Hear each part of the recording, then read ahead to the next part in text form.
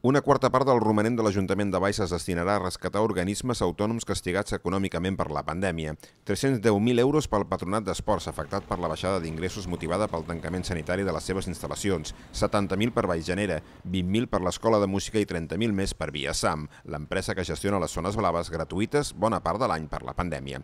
En total, 430.000 euros que el consistori veient ha estirat del seu romanent aprofitant que el govern espanyol ha aixecat les restriccions del Pla d'Estabilitat Pressupostària.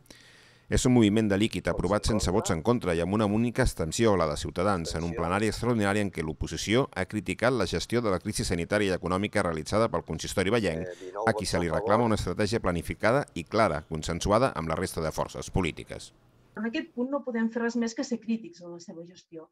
Vostès són el govern que té més regidors eh, en dedicació, que té més càrrecs de confiança de tota la història de Valls, que és el més car de Valls i lamentem dir-los que ens dona la sensació que en un moment tan complicat com el que estem vivint ara doncs no estan a l'alçada. Esperem doncs, que ben aviat ens puguin dir eh, quines seran aquestes línies estratègiques si és que finalment les tenen definides.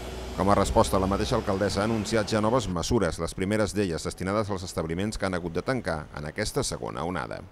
Estem parlant de més de 50.000 euros que volem, que volem mobilitzar de manera ràpida perquè la situació, per tots els que s'han vist afectats, pensem que és una situació d'urgència.